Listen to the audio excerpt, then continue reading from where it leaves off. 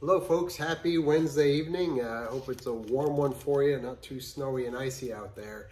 Uh, if you have your Bibles, if you could open up to the book of First Corinthians, and it's chapter 2. First Corinthians chapter 2, and I'm going to read uh, uh, starting in verse 6. um, the Apostle Paul, and I guess his co author, uh, Sosthenes. Uh, Paul says that he's writing on behalf of both of them, or they're both contributing to this letter to the church at Corinth. And um, these few verses speak of the wisdom of God and of the Spirit of God. Uh, something that is so uh, precious. I don't think we fully understand it, um, but the Spirit of God certainly does.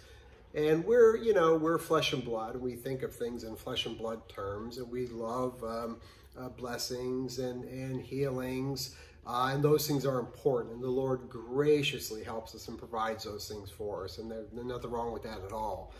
Uh, but you know, we're spiritual beings. Uh, we got the flesh and blood, but but God has um, has given us a spirit, and uh, that is eternal, and that is really and truly where we exist. That is the the, the heart of the matter. Other things are temporary. But let me go ahead and pick up reading in verse 6 here. Um, Yet among the mature, we do impart wisdom, although it is not a wisdom of this age or of the rulers of this age who are doomed to pass away. So this is a special wisdom.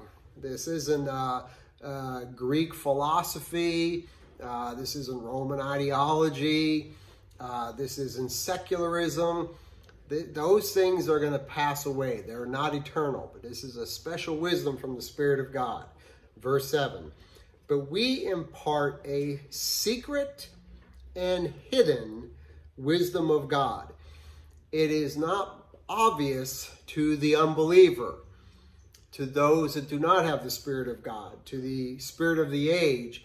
These things are not evident to them, yet we possess them you can talk with your brothers and sisters in Christ who also have the spirit and wisdom of God, and you get this stuff. There's things, there's a camaraderie, there's an understanding that you have and they have that the spirit of the age of the people of the world do not have.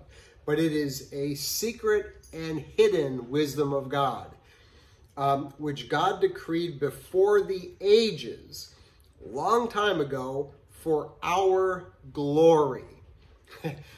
So it is something that he knew before the world even began that he was going to impart this wisdom into us and it would be for our glory. Why? Because we can speak of this wisdom. We can live in this wisdom.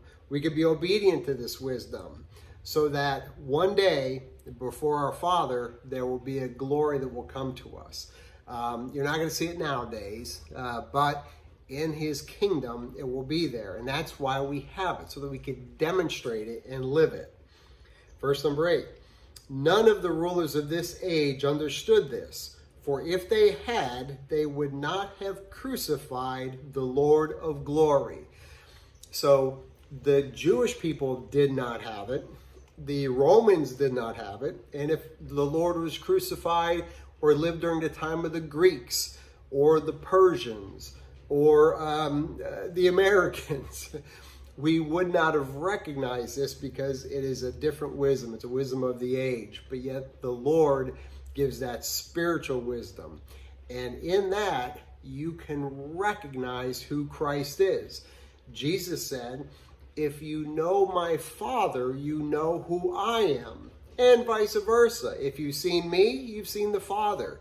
So there's that spiritual discernment that wisdom that he gives, and it's something that is special that we have that most, unfortunately, do not. Verse number nine. But as it is written, what no eye has seen, nor ear heard, nor the heart of man imagined, what God has prepared for those who love him.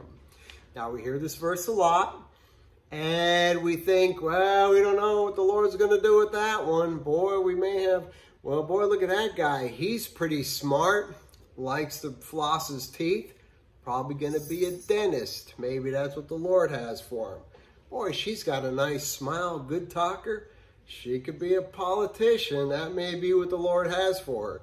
That's not what this is talking about. It is referring to wisdom. And uh, Paul is saying there's no, the heart can't even imagine what God is giving to them in this present day. That this spirit of wisdom is something that's coming from Him now. That we have believers have this very special gift from God. It's not just something what we're going to be in the future or some potential that we have or some talent. This is the Spirit of God. Verse number 10. Uh, th these things God has revealed to us through his Spirit. So he's saying what God has prepared for those who love him. So this is something that Paul is saying, these things that God has prepared, uh, God has revealed to us through his Spirit. So there is a revelation that you and I have of truths of God that has been revealed to us, not just through learning, although learning and studying are good things, but there's been a revelation and the Spirit of God has opened our eyes to these truths. That's why it really is nice if you have um, people that have a spirit and have wisdom of God that are fathers, that are mothers leading their family, that are principals leading their schools, that are professors in colleges, that are politicians leading large groups of people if these people who have this special knowledge from God, this understanding, uh, they have a good, they're able to lead and to discern. They can see things that are good from God and they can also recognize evil for what it is and to stay away from it. And without that, uh, we suffer, and we have been. Uh, still, verse 10 For the Spirit searches everything, even the depths of God. Uh, so the Spirit of God even searches God. That part of the Trinity searches that part of the Trinity uh, to know and to understand the deep things of God the Father. The Spirit knows that.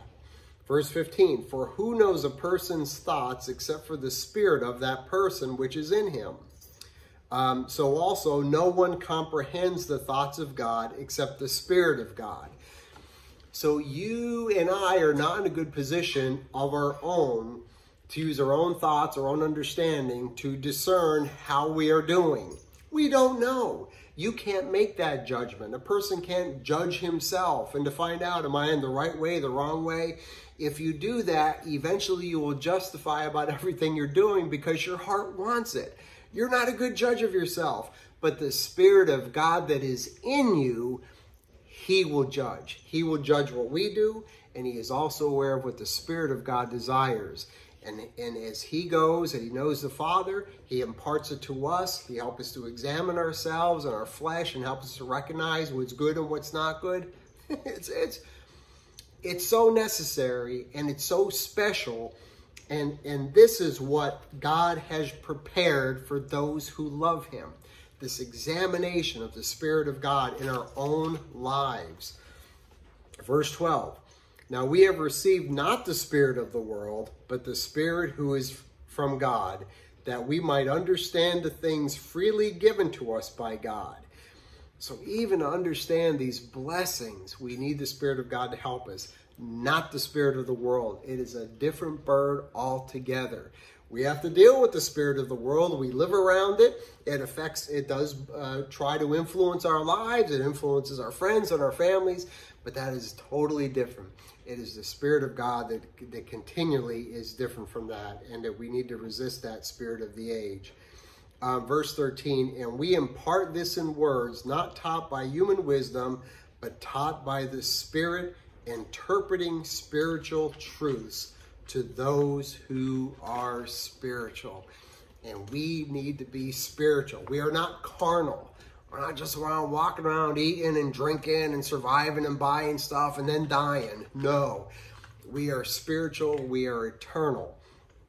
And we um, these words are imparted to us. It's not just human wisdom, but the Spirit of God.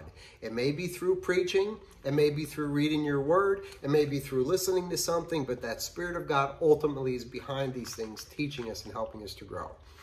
Well, God bless you guys. I uh, hope you have a wonderful night, and uh, we'll see you again. So long.